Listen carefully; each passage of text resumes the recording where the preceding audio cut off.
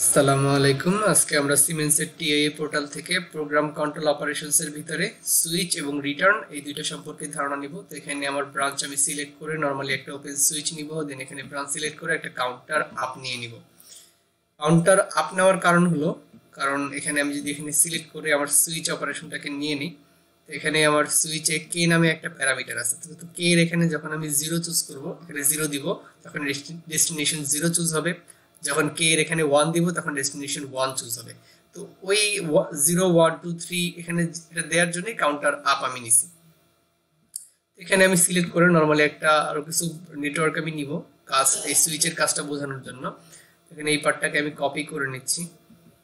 এই পার্টটাকে কপি করে নিলাম কন্ট্রোল সি দেন এখানে ক্লিক করে কন্ট্রোল ভি দেন আবারও নেটওয়ার্ক ফাইভে গিয়ে কন্ট্রোল ভি নেটওয়ার্ক সিক্স এর দরকার নেই, পাঁচটা নেটওয়ার্ক দিয়ে সুইচ অপারেশন বোঝানো যাবে।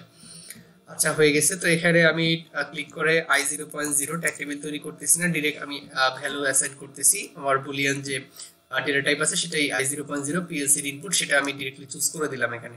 এখানে আপনি এখানে ক্লিক করে মাউসের রাইট বাটনে ক্লিক করে রিনেম ট্যাগসে যেও, এখানে অ্যাড্রেস ডেটা টাইপ সবই চেঞ্জ করতে পারবেন। তো এখানে আমি অন দিয়ে দিলাম জাস্ট অন সুইচ এখানে অন দিয়ে দিলাম অন দেওয়ার পরে চেঞ্জে চাপ দিলি এখানে অন চলে আসবে। আপনি এই জিনিসটা আগে ডেটা ট্যাগ টেবিল তৈরি করো। এখানে ট্যাগ টেবিল এখানে ডাবল ক্লিক করলে এখানে ট্যাগ টেবিল চলে আসবে।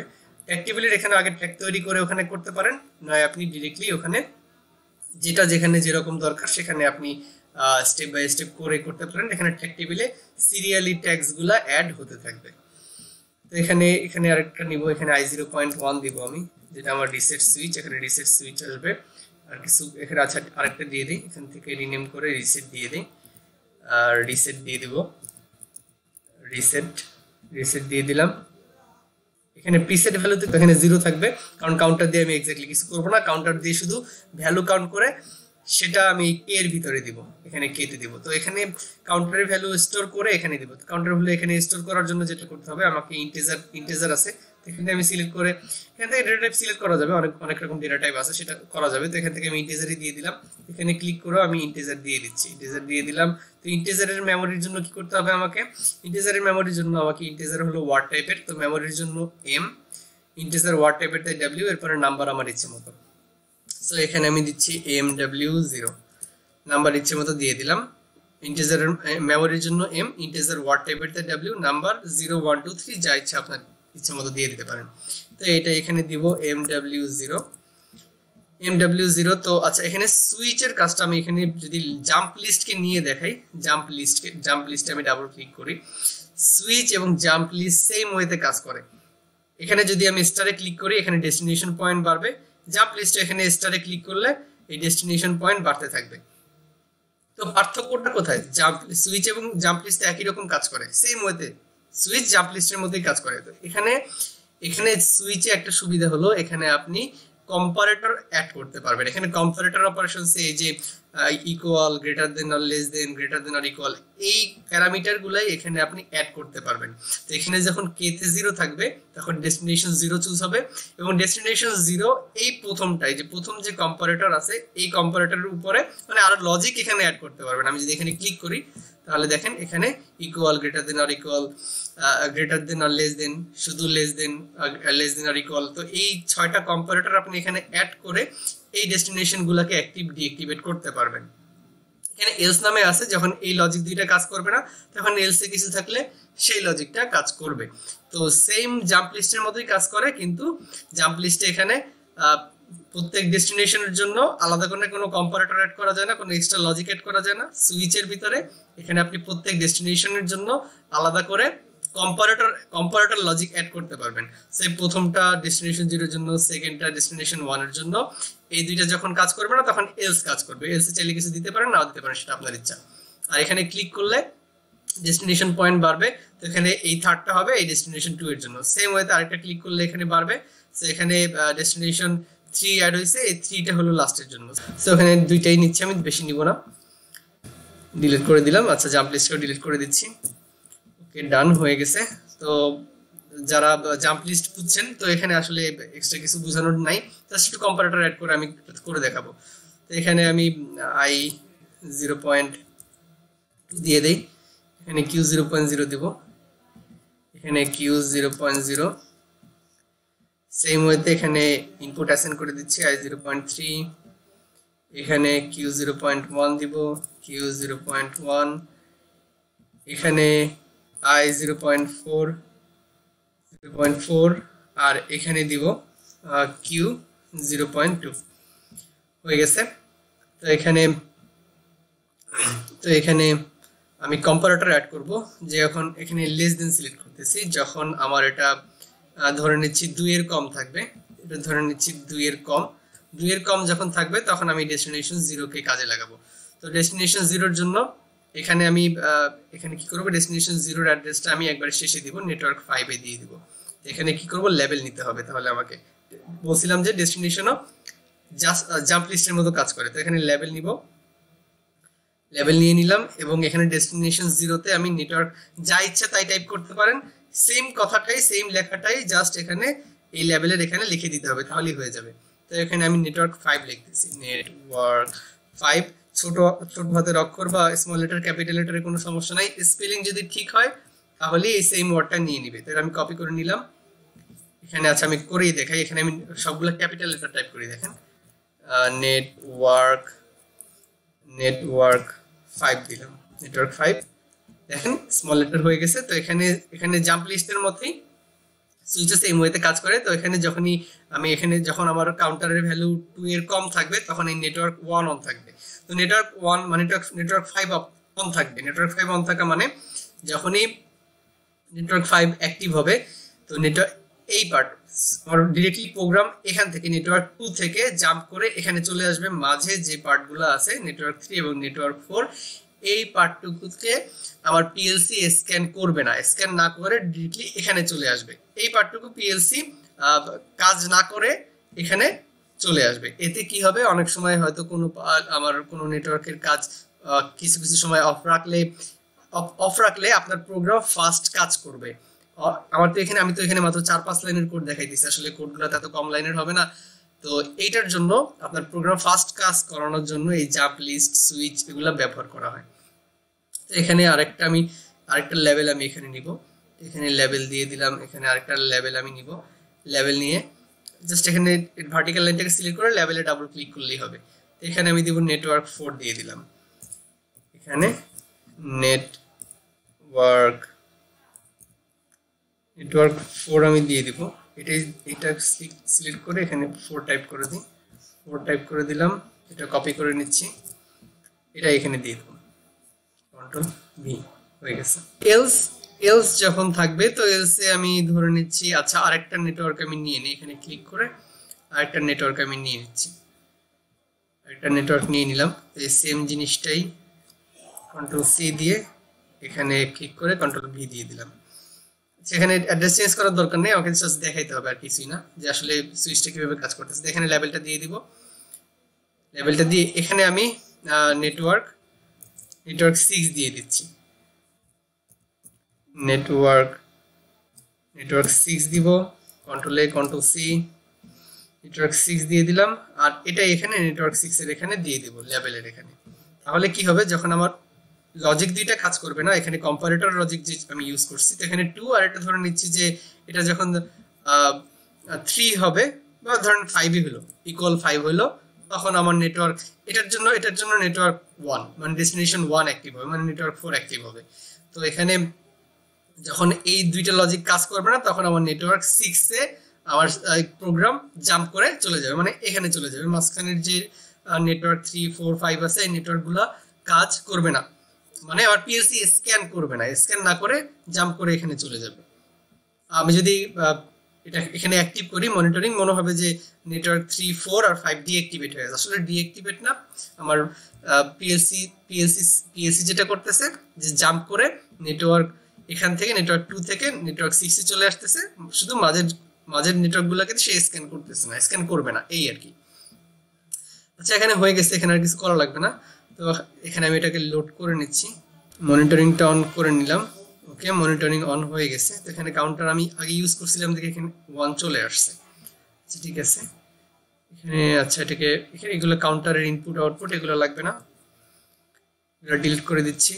তো এখানে আমার কি হচ্ছে? আমার সুইচ অপারেশনে দেখেন, আমার এখানে লজিক হলো, যখন এখানে জিরো আছে মানে জিরো মানে সেটা less than two less than two যখন হবে, তখন এই প্রথমটা নেট ডেস্টিনেশন জিরোর জন্য। মানে নেটওয়ার্ক ফাইভকে সে অ্যাক্টিভ করে রাখবে। তো নেটওয়ার্ক ফাইভে যদি আমি চলে যাই, দেখেন নেটওয়ার্ক থ্রি দেখেন নেটওয়ার্ক ফোর দেখেন নেটওয়ার্ক ফাইভ দেখেন এই নেটওয়ার্ক টু থেকে ফাইভের মাঝখানে যা আছে, এটা আমার পিএলসি সিপিইউ স্ক্যান না করে ডিরেক্টলি জাম্প করে এখানে চলে আসছে। এর পরের পার্টগুলো এক্সিকিউট হবে। এর পরের পার্টগুলো আমার পিএলসি সিপিইউ স্ক্যান করবে। এখানে লেস দেন টু পর্যন্ত আমার নেটওয়ার্ক ফাইভ অ্যাক্টিভ থাকবে। এখানে দেখেন নেটওয়ার্ক ফাইভের এখানে গ্রিন গ্রিন গ্রিন হয়ে আছে মানে ডেস্টিনেশন জিরো গ্রিন হয়ে আছে। এখানে আমি আমার পিএলসি সিপিইউ কে আমার কাউন্টারকে আরেকবার ক্লিক করি। তো কাউন্টার এখানে ওয়ান চলে আসছে। কাউন্টারের ভ্যালুটা এখানে আসতেছে। তো এখানে ওয়ান এখন নেটওয়ার্ক ফাইভ অ্যাক্টিভ আছে। এখানে আবার ক্লিক করব টু হয়ে যাবে।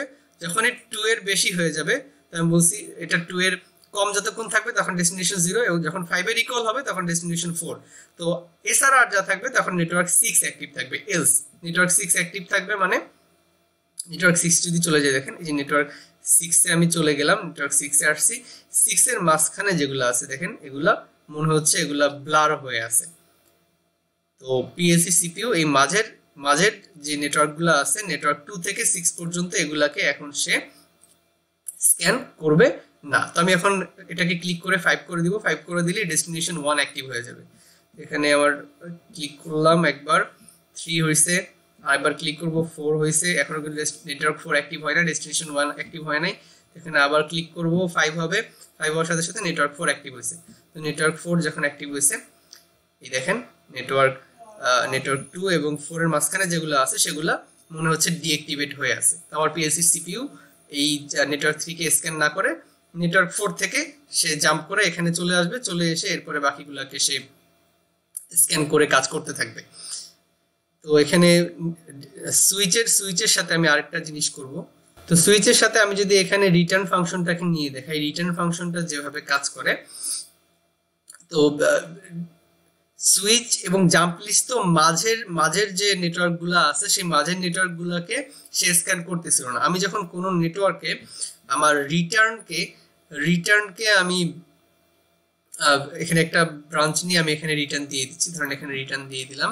রিটার্ন দেওয়ার সাথে সাথে রিটার্ন যখন এখানে অ্যাক্টিভ হবে, রিটার্ন মানে এই নেটওয়ার্ক অ্যাক্টিভ হওয়ার সাথে সাথে এর নিচে যত, এর নিচে যত নেটওয়ার্ক আছে, এই সবগুলো নেটওয়ার্ক আমার পিএসসি সিপিইউ আর স্ক্যান করবে না। তো রিটার্ন যে ব্রাঞ্চে থাকবে, ওই ব্রাঞ্চের পর থেকে নিচে যে ব্রাঞ্চগুলো থাকবে, ওই ব্রাঞ্চগুলো সম্পূর্ণ ডিঅ্যাক্টিভেট থাকবে। তো এখানে রিটার্নের এখানে আপনি বুলিয়ান মেমোরি দিতে হবে। বুলিয়ান মেমোরির জন্য যেটা আমি করব, তো এখানে আমি এম দিব, বুলিয়ানের জন্য মেমোরির জন্য এম বুলিয়ানের জন্য নাম্বার ডট নাম্বার লাগবে। সো আমি নাম্বারটা এমন ভাবে নিব, সেটা যেটা আপনার পিএলসি সিপিইউতে যে যে যে ইনিশিয়াল যে ইনপুট আউটপুট আছে, সেগুলোর সাথে যেন মিল না হয়। আমি যদি আমার পিএলসি সিপিইউ দেখাই যে সিপিইউর উপরে কাজ করতেছি যদি জুম করে দেখাই জুম করে দেখাই, এখানে দেখেন এখানে এখানে এখানে আই জিরো পয়েন্ট জিরো এখানে I zero point one I zero point two তো ওগুলো এখানে zero point five zero point six one point zero তো এই ভ্যালুগুলা যেন one point zero zero point seven এইগুলা যেন আপনি মেমোরি হিসেবে ইউজ না করেন। কারণ এই মেমোরিগুলো আপনাকে এইচএমআই তে ইউজ করতে হবে হিউম্যান মেশিন ইন্টারফেসে তো এগুলো আপনি ইউজ করবেন না। যদি, তাহলে আপনি মেমোরিতে এইচএমআই করতে অসুবিধা হয়ে যাবে এবং এইচএমআই কাজও করবে না। তো এখানে এম ওইগুলো সম্পূর্ণ বাইরে। তো আমি ধরে নিচ্ছি এম থ্রি পয়েন্ট জিরো সেখানে হয়ে গেছে। তো যখনই আমার এই নেটওয়ার্ক অ্যাক্টিভ হবে, তো এখানে আমি এই, এখানে একটা সুইচ দিয়ে দিচ্ছি। এটাকে ট্যাগ ফোর এখানে ট্যাগ ফোরটাই দিয়ে দিই। আই জিরো পয়েন্ট থ্রি দিয়ে দিলাম। যখনই আচ্ছা এখানে এটাকে কম্পাইল করে নিই। কম্পাইল করে নিলাম। অন হয়ে গেছে। তো এখানে কি হচ্ছিল? যে সুইচ জাম্পলি সেম ওয়েতে আপনার মাঝের নেটওয়ার্ক গুলোকে সে স্ক্যান করতেছিল না, মাঝের নেটওয়ার্ক গুলোতে। তো এখানে তো আমি নেটওয়ার্ক এখানে ফাইভ যেহেতু আছে, এটা অ্যাক্টিভ আছে অ্যাক্টিভ মানে ডেস্টিনেশন ওয়ান অ্যাক্টিভ আছে।